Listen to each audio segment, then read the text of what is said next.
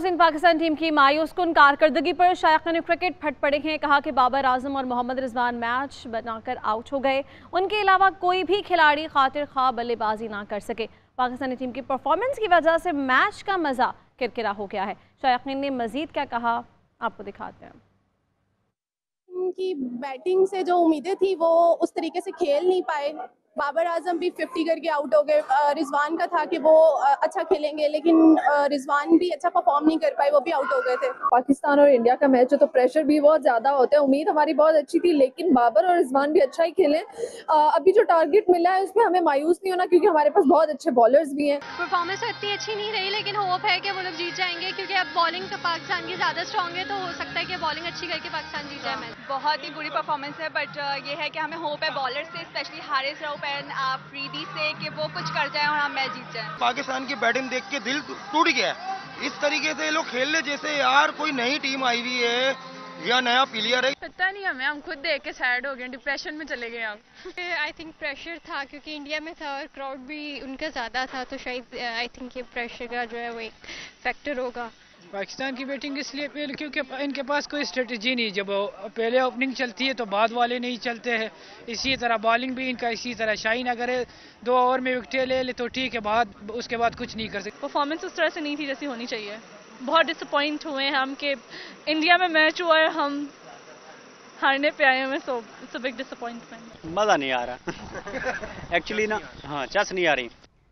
अब कुछ बर रास्त मुख्तलिफ़ शहरों से आवाम का रद्दमल लेंगे और सबसे बड़ा टाकरा है अहमदाबाद में, नरेंद्र मोदी स्टेडियम में, लेकिन पाकिस्तानी बल्लेबाजों ने फैंस के चेहरों से खुशी छीन ली है। आपने देखा एक छक्का नहीं हमारी हम्म। टीम आज इरफान मार सकी सिर्फ़ तीन से चार चौके ही लगाए हैं लेकिन खैर हमारे नुमाइंदगान मुख्तलिफ़ शहरों में मौजूद है उनसे जान लेते हैं कि वहाँ पे बड़ी बड़ी स्क्रीन्स लगी थी और जोशो खरोश दीदनी था लेकिन अब जो है वो मायूसी जो है वो हमारे पे भी छाई हुई है और शायकी क्रिकेट पे भी। सबसे पहले आकिब आकिब कुरैशी से बात कर लेते हैं जो कि इस वक्त लाहौर में मौजूद हैं और एक निजी यूनिवर्सिटी में मौजूद हैं। तो आकिब बताएगा इस वक्त अब शायकीन क्रिकेट क्या कह रहे हैं? बैटिंग लाइन तो फ्लॉप हो गई, अब बॉलिंग लाइन भी फ्लॉप हो रही है।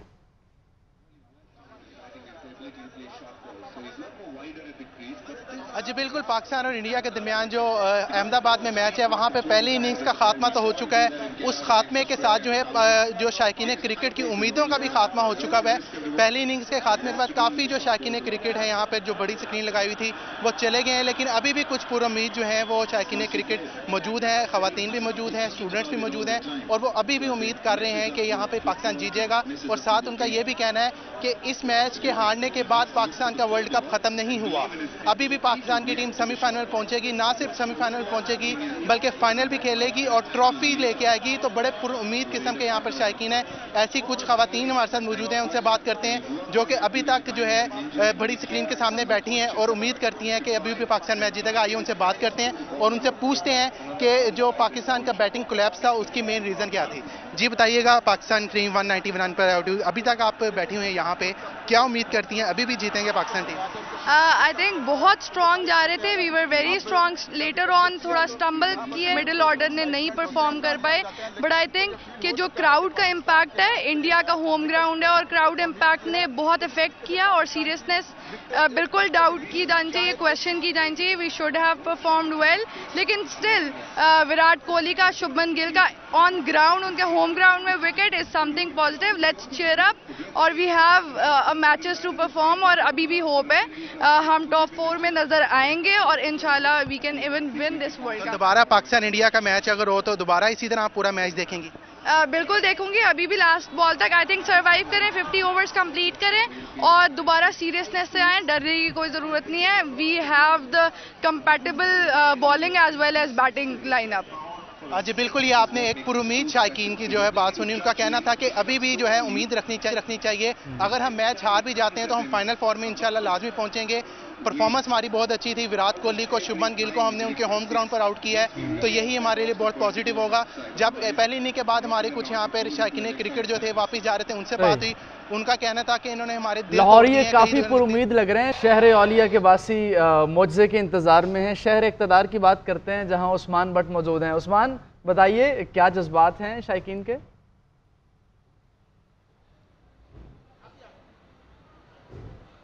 आज ही बिल्कुल वर्ल्ड कप की जंग जो है वो जीएनएन के संग इस वक्त जारी है। शायकीन क्रिकेट जो है वो दो हिस्सों में तकसीम हो चुके हैं। कुछ तो मेरे कैमरामैन आपको दिखाते चले कि कुर्सियाँ आपको पीछे खाली नज़र आ रही होंगी। मैच जो है वो छोड़कर घरों को जा चुके हैं। उनका कहना है कि कम से कम पाकिस्तानी शाहीनों को पचास ओवर का मैच पूरा खेलना चाहिए था। सात ओवर अभी रहते तमाम टीम जो है वो आउट होगी। एक सौ इक्यानवे रन का हदफ दिया है हिंदुस्तान को। दो खिलाड़ी हिंदुस्तान के अभी आउट हो चुके हैं। हिंदुस्तान ने टॉस जीता लेकिन उसने पहले बैटिंग का नहीं बल्कि फील्डिंग का फैसला किया। और ये फैसला उनका सूदमंद जो है वो साबित होता नज़र आ रहा है। लेकिन अभी जो शाहीन यहाँ पर मौजूद उनका कहना है कि खेल के खेल में हार जीत होती रहती है, लेकिन शाहीनों को ये चाहिए कि वो कम मार्जिन से हारे। पहले तो ये कोशिश करे कि मैच को जीता जाए। अगर जीतना मुमकिन नहीं है तो कम से कम मार्जिन जो है वो, उसमें मैच हारा जाए। माहरीन का ये कहना है कि एक लाख पच्चीस हज़ार से जायद का क्राउड है वहाँ पर, और अक्सरियत जो है वो वहाँ पर हिंदुस्तान की टीम को सपोर्ट कर रही है। शायद ये भी एक वजह है कि पाकिस्तानी शाहीन जो है वो अंडर प्रेशर आ गए हैं, जिसकी वजह से वो अच्छी परफॉर्मेंस नहीं दे सके जी।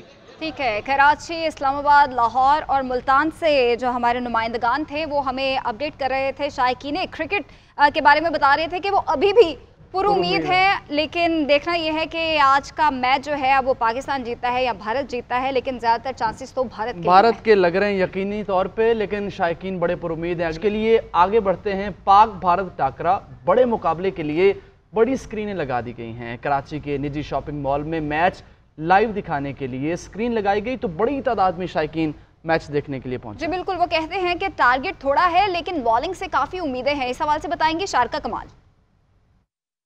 का मैच इस वक्त जो है बहुत ही दिलचस्प मरहले में दाखिल हो चुका है। पाकिस्तान ने बैटिंग कर ली है और अब इंडिया की बैटिंग जो है वो इस वक्त जारी है। पाकिस्तान के स्कोर थोड़ा कम है, लेकिन इसके बावजूद शायकीन क्रिकेट काफ़ी पुरजोश नज़र आ रहा है। मैं इस निजी मॉल में मौजूद हूँ।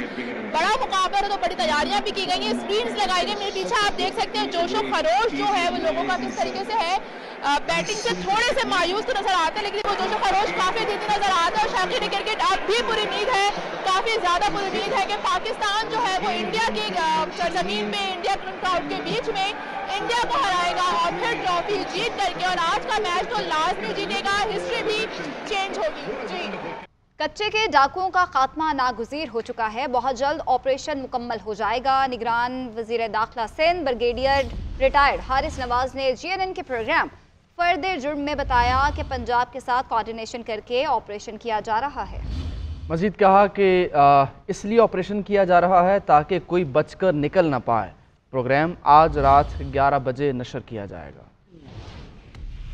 हमारी कोऑर्डिनेशन पंजाब से बहुत अच्छी है। हमने बड़ी डिटेल में उनसे ब्रीफिंग की। उनका भी नुकता समझा समझा। अब हमने डिसाइड कर जब ऑपरेशन करेंगे तो कैसे उन्होंने बॉर्डर को सील करना है? कैसे हमने सील करना है? अगर हम ऑपरेशन करेंगे तो जो इधर स्पिल ओवर उधर जाएगा, उसको कैसे काउंटर करना है? लाइक उधर ऑपरेशन होगा तो हमने क्या करना है? ये हमने नेटी ग्रेटी सारी सॉर्टिंग आउट कर ली है। सेकेंड ये कि देखें this should be political will कि आपने काम करना और डूएबल चीज़ें हो तो वो हो सकती हैं। अगर हमारी मर्ज़ी नहीं है तो फिर और बात है। तो इसलिए कि ना तो कोई सिस्टम है, ना कोई वो पोलिटिकल इन्फ्लुएंस है। अब सिर्फ़ मेरिट है। और फिर कारकर्दगी जो भी S H O D S P S P काम नहीं करेगा, हम उसी वक्त उसको चेंज करेंगे। ये हमने वार्निंग उनको दी हुई है। नाजन पंजाब भर में इस का एहतजाज। तीसरे रोज़ भी जारी इस ने सरकारी स्कूल्स बंद करके तदरीस का अमल मुअत्तल कर रखा है। उधर पंजाब हुकूमत ने इस नुमाइंदों समेत गवर्नमेंट एम्प्लॉज़ ग्रैंड अलायंस के गिरफ़्तार रहनुमाओं की तीस रोज़ के लिए नज़रबंदी के अहकाम जारी कर दिए हैं। इस रहनुमाओं ने मुतालबात की मंजूरी और कायदीन की रिहाई तक एहतजाज जारी रखने का ऐलान किया है। फजलात, आप रिपोर्ट से देखिए।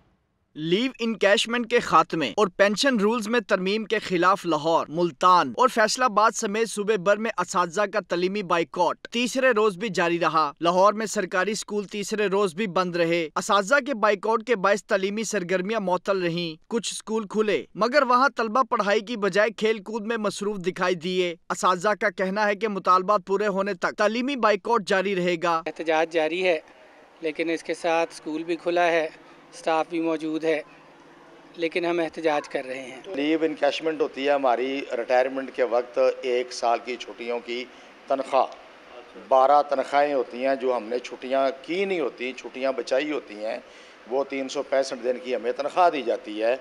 मुल्तान के इस ने तदरीसी अमल मअतल रखा और स्कूलों के बाहर एहतजाजी धरना दिया। इस मुतालबात की मंजूरी के लिए नारेबाजी करते रहे।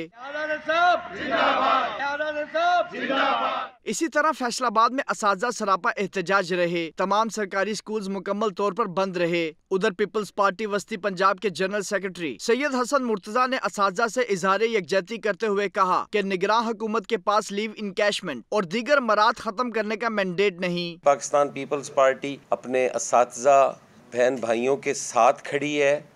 हम उनकी हर तहरीक का हरावल दस्ता होंगे। दूसरी जानी पंजाब हुकूमत ने गुजशत रोज अदालत की जानब ऐसी रहा किए जाने वाले इस समेत सरकारी मुलाजमीन के गिरफ़्तार रहनुमाओं को तीस रोज के लिए नजरबंद कर दिया। डिप्टी कमिश्नर लाहौर की जानब ऐसी जारी नजरबंदी के अहकाम के बाद एक सौ तीन रहनुमाओं को कोर्ट लखपत जेल मुंतकिल कर दिया गया।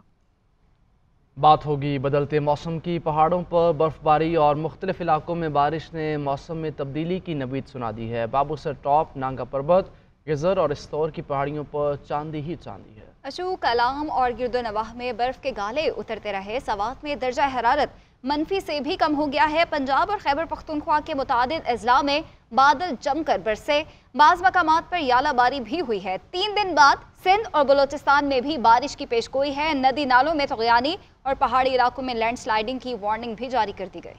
बालाई इलाकों में मौसम यकसर तब्दील। बर्फबारी से ठंड में इजाफा। पारा नुकता अंजुमान से नीचे चला गया। बाबूसर टॉप और नागा पर्वत पर बर्फ़ रुई के गालों की तरह उतरती रही। पहाड़ियों ने बर्फ़ की सफ़ेद चादर ओढ़ ली। सवात के इलाके अशोक कलाम गबराल और गिरदो नवाह में वक्फे वक्फे से चांदी के मोतियों की बरसात हो रही है। वादी सवात के बालाई इलाकों में दर्जा हरारत नुकता अंजुमान से गिर गया। को चार सद्दा, कोहाट और सवाबी और नौशेरों समेत खैबर पख्तूखा के मुख्तलिफ़ अजला में अब्र करम थम थम कर बरसा। करक में तेज बारिश के साथ याला बारी भी हुई। आज़ाद कश्मीर के बाद इलाकों में मौसम सरमा की पहली बारिश हुई। पंजाब के मुताद अजला में बादलों ने खूब रंग जमाया। कलर कहार, पसरूर, जफरवाल, वजीराबाद, सराय आलमगीर में कहीं हल्की, कहीं मूसलाधार बारिश हुई। फजा में खुनकी बढ़ गई। लाहौर की फजा भी बादल से ढक गई। सत्रह अक्टूबर को घटाएँ सिंध और बलोचिस्तान में बरसने की पेशगोई की गई है। महकमे मौसमियात ने मंगल तक तेज बारिश के बायस नदी नालों में पानी के बहाव में इजाफे और पहाड़ी इलाकों में लैंड स्लाइडिंग से खबरदार किया है।